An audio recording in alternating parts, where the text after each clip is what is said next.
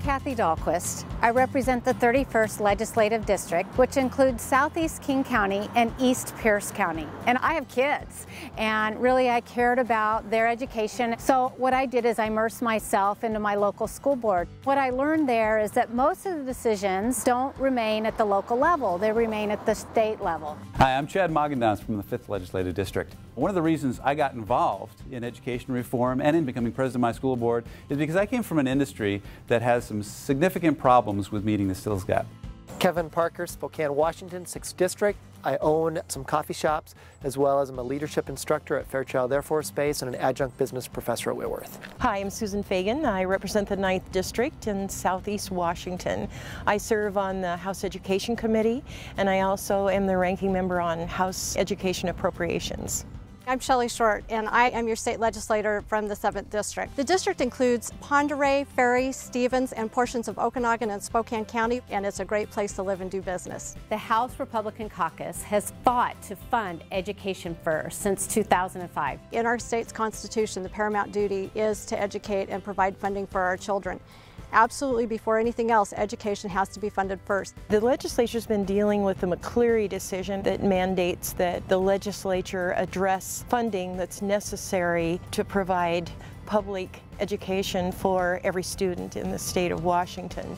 The importance of the McCleary decision is that it told the legislature that we weren't fully funding education, and we know that education is the paramount duty of our state to be funded prior to any other program and agency. So we put a billion dollars more into education. There are things that we have to do, that we must do to fund education, and the Supreme Court pointed to four areas that are critical, and that's lowering class size in those early years, kindergarten, first grade, addressing transportation for all our school districts, and also something called MSOC, materials, supplies, and operating costs. Those are the parts of basic education. We put money towards all-day kindergarten, which is very important to get kids started on the right foot. We've actually put a lot of effort into closing the skills gap. And now, with the budget proviso, we introduced districts that haven't had access to the startup funds to get programs like that started, now can apply for a grant from the state to get them going.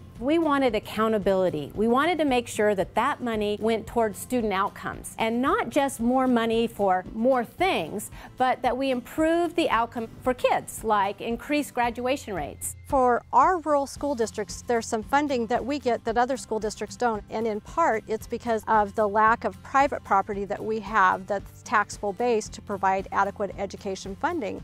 And that funding at the state level is levy equalization assistance. Levy equalization is so important because what it does is it makes the equality between property rich districts and property poor districts equal. So it would be unfair to eliminate it.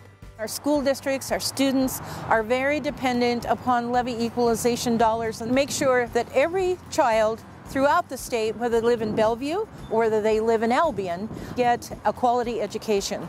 I'm proud to join with my House Republican colleagues, whether colleagues from urban areas in Puyallup or from rural areas in northeastern Washington, I will tell you right now that we collectively are fighting to protect levy equalization funding. Nationwide, over the next decade, 1.6 million jobs will be available in computer science, and yet only about 600,000 of them are pipelined into that industry right now.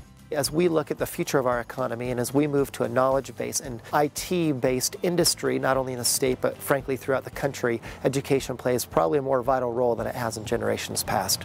We want to make sure that teachers have the ability to give students what they need. And we want to ensure that we have the best and brightest teachers in front of all our students. All our students deserve the best. I want teachers to know the impact that they have. It's so far reaching.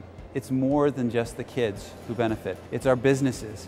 It's our grandkids that are learning skills that may not be tested in that high stakes exam, but are just as important for our success as a state and as a nation.